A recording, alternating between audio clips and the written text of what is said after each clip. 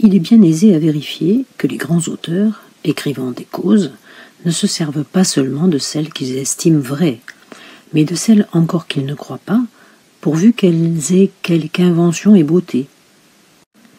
Ils disent assez véritablement et utilement s'ils disent ingénieusement. Nous ne pouvons nous assurer de la maîtresse cause. Nous en entassons plusieurs, voir si par rencontre elle se trouvera en ce nombre. Me demandez-vous d'où vient cette coutume de bénir ceux qui éternuent? Nous produisons trois sortes de vent. Celui qui sort par en bas est trop sale. Celui qui sort par la bouche porte quelques reproches de gourmandise. Le troisième est l'éternuement et parce qu'il vient de la tête, et est blâme, nous lui faisons cet honnête recueil. Ne vous moquez pas de cette subtilité, elle est, dit-on, d'Aristote. Il me semble avoir lu en Plutarque, qui est de tous les auteurs que je connaisse celui qui a mieux mêlé l'art à la nature et le jugement à la science, rendant la cause du soulèvement d'estomac qui advient à ceux qui voyagent en mer, que cela leur arrive de crainte. Ayant trouvé quelques raisons par laquelle ils prouvent que la crainte peut produire un tel effet. Moi qui suis fort sujet, je sais bien que cette cause ne me touche pas. Et je le sais non par argument, mais par nécessaire expérience.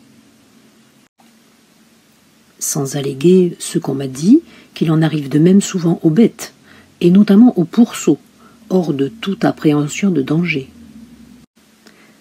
Et ce qu'un mien connaissant m'a témoigné de soi, qui étant fort sujet, l'envie de vomir lui était passée deux ou trois fois, se trouvant pressé de frayeur en grande tourmente. Je n'eus jamais peur sur l'eau, comme je n'ai aussi ailleurs, et c'en est assez souvent offert de juste, si la mort l'est, qui m'est au moins troublé ou ébloui elle naît parfois de fautes de jugement comme de fautes de cœur.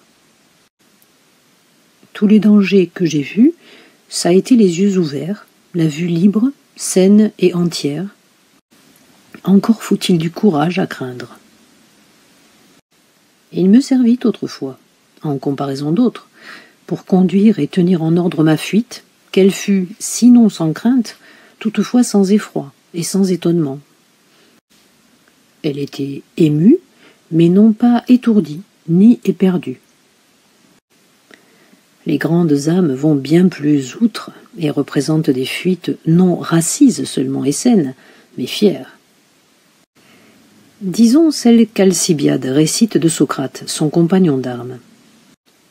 Je le trouvais, dit-il, après la déroute de notre armée, lui et Lachès, des derniers entre les fuyants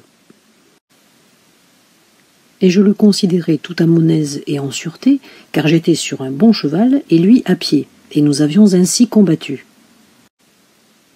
Je remarquai premièrement combien il montrait d'avisement et de résolution au prix de lâcher, et puis la braverie de son marché, nullement différent du sien ordinaire. Sa vue, ferme et réglée, considérant et jugeant ce qui se passait autour de lui, regardant tantôt les uns, tantôt les autres, amis et ennemis, d'une façon qui encourageait les uns et signifiait aux autres qu'il était pour vendre bien cher son sang et sa vie à qui essayerait de la lui ôter. Et ils se sauvèrent ainsi, car volontiers on n'attaque pas ceux-ci. On court après les effrayés. Voilà le témoignage de ce grand capitaine, qui nous apprend ce que nous essayons tous les jours, qu'il n'est rien qui nous jette tant au danger qu'une fin inconsidérée de nous en mettre hors. Notre peuple a tort de dire celui-là craint la mort quand il veut exprimer qu'il y songe et qu'il la prévoit. La prévoyance convient également à ce qui nous touche en bien et en mal. Considérer et juger le danger est aucunement le rebours de s'en étonner je ne me sens pas assez fort pour soutenir le coup et l'impétuosité de cette passion de la peur, ni d'autres véhémentes. Si j'en étais un coup vaincu et atterré, je ne m'en relèverai jamais bien entier. Qui aurait fait perdre pied à mon âme ne la remettrait jamais droite en sa place. Elle euh, se retâte et recherche trop vivement et profondément, et pour cela, elle ne laisserait jamais ressouder et consolider la plaie qu'il aurait percée. Il m'a bien pris qu'aucune maladie ne me l'ait encore démise. À chaque charge qui me vient, je me présente et oppose en mon haut appareil. Ainsi, la première qui m'emporterait me mettrait sans ressources. Je n'en fais point à deux. Par quelque endroit que le ravage Foucha m'a levé, me voilà ouvert et noyé sans remède. Épicure dit que le sage ne peut jamais passer à un état contraire. J'ai quelque opinion de l'envers de cette sentence, que qui aura été une fois bien folle ne sera nulle autre fois bien sage. Dieu donne le froid selon la robe, et me donne les passions selon le moyen que j'ai de les soutenir. Nature, m'ayant découvert d'un côté, m'a couvert de l'autre. M'ayant désarmé de force, m'a armé d'insensibilité et d'une appréhension réglée ou émoussée.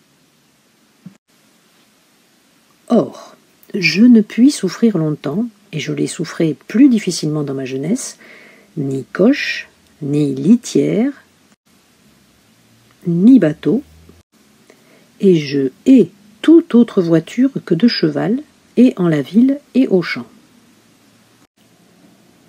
Mais je puis souffrir la litière moins qu'un coche, et par même raison plus aisément une agitation rude sur l'eau, d'où se produit la peur, que le mouvement qui se sent en temps calme. Par cette légère secousse que les avirons donnent, dérobant le vaisseau sous nous, je me sens brouiller je ne sais comment la tête et l'estomac, comme je ne puis souffrir sous moi un siège tremblant.